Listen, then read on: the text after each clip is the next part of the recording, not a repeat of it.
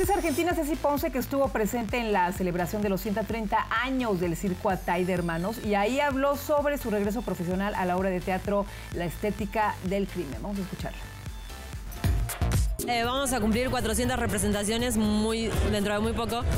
Yo cumplo 100 apenas porque la obra lleva un año, cuatro meses eh, y creo que tiene vida para, para rato. Y a mí me hace muy feliz porque en este momento es perfecto estar en la semana tranquila en la casa con los niños.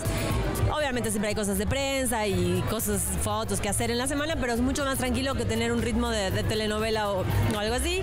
Y los fines de semana el teatro que disfruto muchísimo, la verdad, estoy muy contenta con mi proyecto. Como es una comedia, entonces es algo relajado, ligero, que no tiene la el desgaste emocional que puede tener otro proyecto o una telenovela, ¿no? También este, que a veces los llamados son eternos y más cuando tienes escenas emocionales muy pesadas. Entonces aquí voy a pasármela increíble, un regreso cargada de energía y de alegría.